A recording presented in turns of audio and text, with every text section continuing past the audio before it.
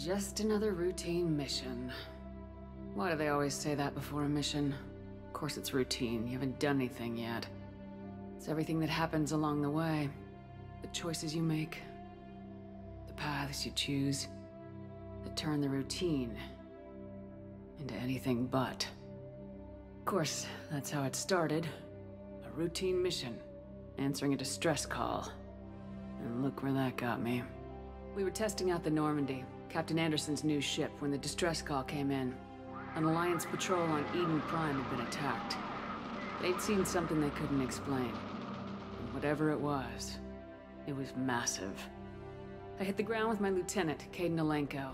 A good kid, loyal, by the book, with a talent for biotics. We came across the lone survivor of the patrol, Gunnery Chief Ashley Williams. A soldier to the core. Tough, disciplined, ready to take on whatever came her way. Ashley joined up with us and took us to the spot where she lost her squad. That's when we saw it. The ship. Like nothing I'd ever seen. It was massive, scorching the colony and everything around it as it blasted away. We followed the path of destruction to an artifact, a beacon left by a long-dead race called the Protheans. The colony had dug it up and whoever attacked them had tried to take it. Lieutenant Alenko made the mistake of getting too close. Hit him with some type of energy. I grabbed him and threw him out of the way. That's when it hit me. Hard. Every muscle in my body went rigid. I couldn't move, could barely breathe. Everything went black. And then I saw something. A vision. A Dream. A nightmare. By the time I woke up, we were halfway to the Citadel on our way to meet the Council. I was expected to explain what I'd seen. Anderson came along. So did Udina, our political representative on the Citadel. With those two heavyweights, it seemed reasonable we could persuade the Council that the ship we'd seen was a potential threat. As was the individual behind the attacks. The main suspect for the Eden Prime massacre was a Turian Spectre named Saren. He'd been seen by one of the survivors from the colony at Eden Prime, and there was some evidence to suggest that the ship was connected to Saren. But even Udina's pointed accusations weren't enough to convince the Council. They just couldn't believe one of their chosen elite Spectres could be guilty of something like that.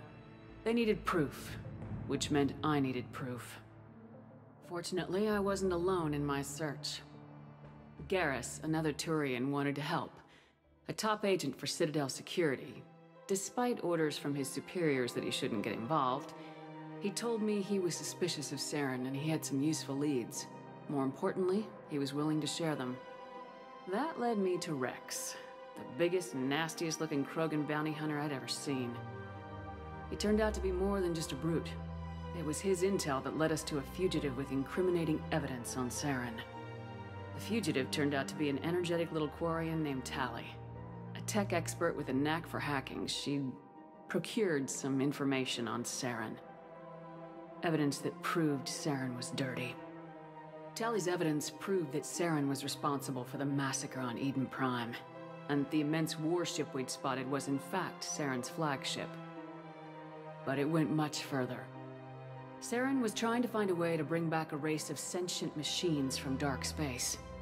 Machines allegedly responsible for cleansing the galaxy of all organic life. These Reapers were blamed for wiping out all life 50,000 years ago, including the Protheans, then disappearing back through the mass relays to dark space, leaving no trace that they'd ever been. That explained why Saren was after the beacon, and it made some sense out of my visions, but not much else.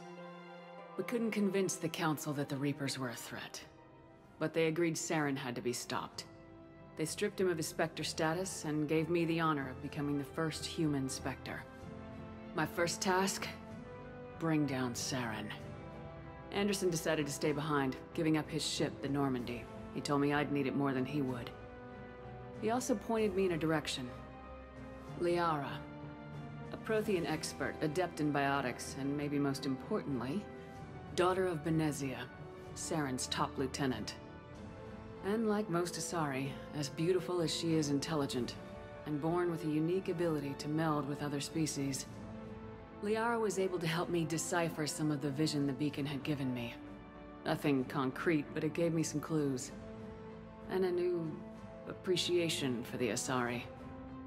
Her technique for accessing my vision was unexpected, but not at all unpleasant. Kaidan was a little concerned about the connection I shared with Liara.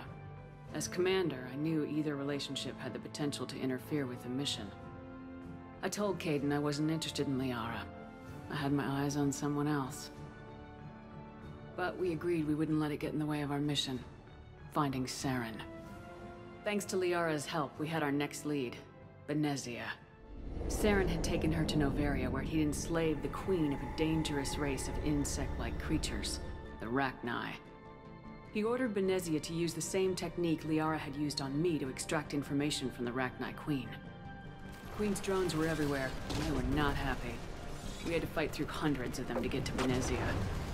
By the time we arrived, Saren was gone, with the information. I tried to reason with Benezia, but Saren had indoctrinated her. He had somehow acquired the ability to control people's actions and wills. Benezia wouldn't surrender, and Liara was forced to watch her mother die in her arms. And I was left with an angry, dangerous Rachni Queen to deal with. She claimed her drones would do no harm if I released her. But the Rachni had terrorized the galaxy before. I couldn't do it. I wouldn't doom an entire species for past sins. And the Queen was true to her word. She left and took her army of drones with her. With Saren's top lieutenant dead, he was quickly running out of time and places to hide. I tracked him down at his base on Virmire. But we soon learned it was more than a base of operations. It was a breeding ground. Saren was breeding an army of Krogan. He'd found a cure for the genophage, a disease inflicted on the Krogan to prevent them from breeding and taking over the galaxy. But the Krogan Saren was breeding were slaves, mindless beasts that obeyed Saren's will. I had to destroy the base and all its research. Wrex disagreed, violently. Wrex wanted the genophage cure for his people. I tried to convince him to help me destroy it, that these Krogan weren't real. But he wouldn't back down. Fortunately, Wrex is smarter than he looks. He realized this wasn't the way to help his people, and that Saren was the real threat. When we finally got to the center of the base, I realized just how close Saren was to completing his plan. He was already in communication with the Reapers. Sovereign, Saren's flagship we'd all assumed was just a ship, was a Reaper. It spoke to me, threatened me. I could feel the menace it had for every living thing. It wanted me dead. It wanted us all dead. And I knew it was capable of doing just that. What I couldn't understand was why Saren would help it. But there was no time to think about it. Sovereign knew where we were. We had to destroy the base and get the hell out. I split my team into two squads, sending Ash with one and Kaidan with the other as a distraction. We had a nuke and we planned to use it. Before we could detonate the bomb, Saren showed up. We fought. I stalled him to make time for my team. And in talking to him, I realized the truth. It wasn't Saren who was indoctrinating everyone. It was Sovereign, the Reaper. And Saren was in deeper than all of them. He tried to convince me he was still in control. Said he'd found a way to reduce the Reaper's influence, but he was kidding himself. Or believing the lies Sovereign was telling him. Before I could convince him to stop, he ran, leaving me just seconds to extract my squad mates. I tried, but it wasn't fast enough. I could only save one of them. Ash was a good friend, and a great soldier but I had to choose. And I chose Kaidan. That was the last time Saren would slip away from me. I knew then, the next time we met, one of us would die. With my team mostly intact, we chased Saren and his army to Ilos, a long-lost planet that had once belonged to the Protheans.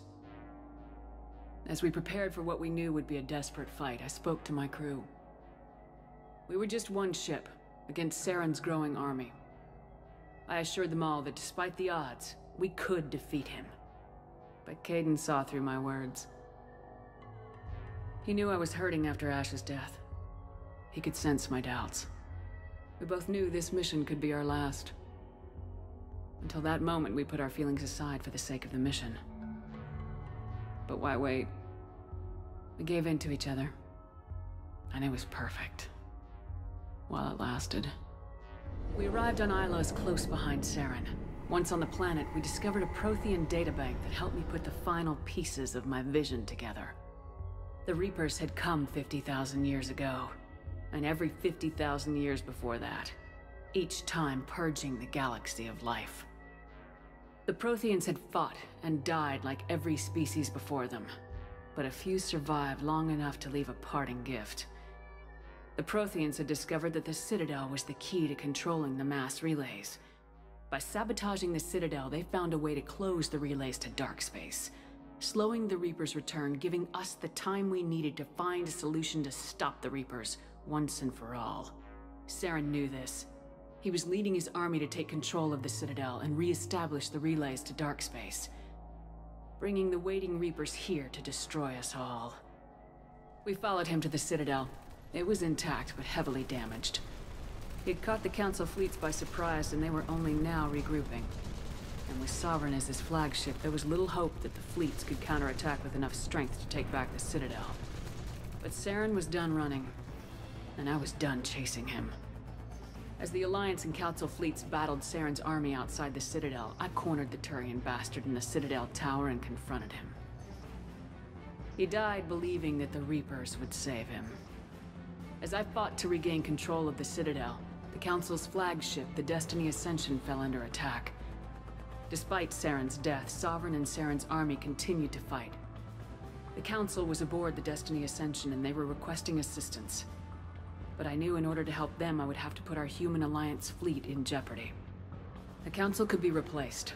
The fleets were needed here and now if we were going to defeat Sovereign. Even with the Citadel back in my control, Saren defeated and the Normandy leading the combined galactic fleet, the battle against Sovereign, a single Reaper, was relentless. It took the combined fleets of humanity and the other races, but in the end, Sovereign fell. But the costs were immense. While humanity's efforts in the war earned us our first seat on the Council, it was a hollow victory. The Reapers were still out there. I knew the fight was far from over, but as the one who'd led the fight against Saren, I was given new responsibilities. The choice of humanity's first councilor was left to me to decide. On the one hand, Udina, the lifetime politician. Ruthless and ambitious, he would easily navigate the political landmines that would soon be placed before him. The other choice, Captain Anderson, the career soldier. Tough but fair, but a friend, and someone I could trust. Both great leaders in their own right. Anderson didn't want the job, which was a sure sign he'd be perfect for it. No ambition to get in the way. The war was over. The threat had passed. In time, the Council would rebuild itself. The Citadel could be repaired. Even the pain of lost friends would fade. But none of that mattered if the Reapers were still out there. And if they were all as powerful as Sovereign, we had to find a way to stop them. I had to find a way. I gathered my crew, took my ship, and went in search of answers.